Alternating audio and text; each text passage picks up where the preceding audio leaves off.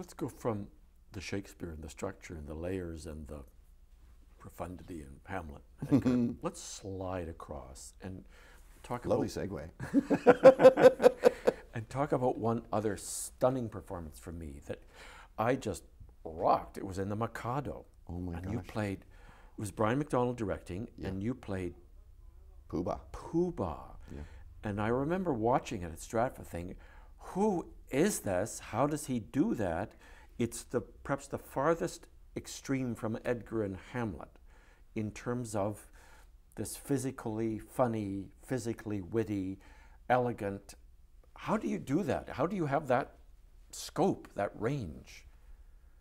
I, I, this is odd because I, I can't categorize it. I don't know what you mean, but because I think that's everybody has that. That's that's what I think.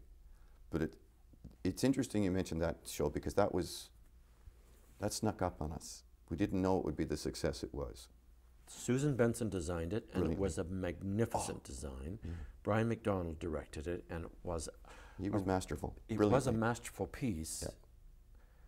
What was it like being inside it? It was, you know what? It started out just like any other show. The year before, I'd, I'd been doing, you know, like a lot of comic characters and a couple of serious ones. And then Brian came in and said, uh, I think I'd worked with him one other time doing Can, uh, Candide. And uh, he said, I'd like you to audition for the Mikado. I didn't know what the Mikado was. I barely knew what Gilbert and Sullivan was. But he said, I said, I'd like you to come in. I'd like you and Eric Donkin to audition together.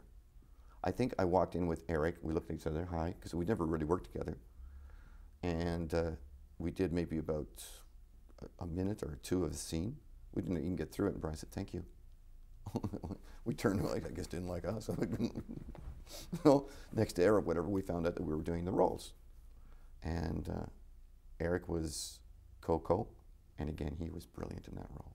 Brilliant, man. And I was uh, Jerry Lewis on Quaaludes, I think, you know, doing the Mikado, doing uh, Pooh-Bah.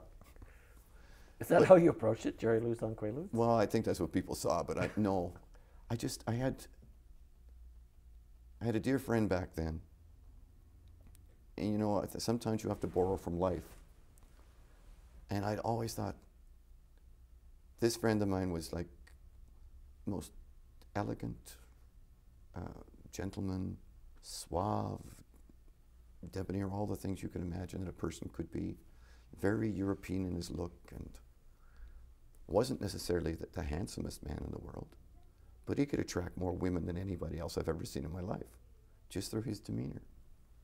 And I said, you know, that's fascinating. I wish I could pay homage to that on stage somehow. And he had a way of saying, uh, answering questions, going, mm-hmm. And I said, oh, I could extrapolate on that, couldn't I? So I started going, instead of going, mm-hmm, I went, uh, yes, and it kind of expanded from that. So I started adding these things to the show. Um, and Brian gave us a lot of liberty. I was making things up. I was adding to the list of characters this uh, Pooh-Bah was supposed to be, you know, like head groom and scooper of the palatial polo ponies. That was something I made up, and he said, "Oh, keep it in, keep it in." And then, oh, there's a whole bunch of stories about the Mikado, but it just grew because it was fun. Brian McDonald made it fun, or the story made it fun, or how did that, or the company made it fun? The company made it fun. It, the company made it joyous, but Brian allowed us to have fun. He had a structure as well. Like his choreography was very exacting and very demanding and very beautiful. Yes. And Sue's, Sue Benson's costumes were astounding, and the set was minimal but brilliant. And somehow it just all came together. And one of the most important elements was the joy of it. That the, the company felt constant. I've never felt so much support amongst the company in my life. Everybody saying congratulating or stuff like that, and constantly always having fun, and the energy was always up, never down.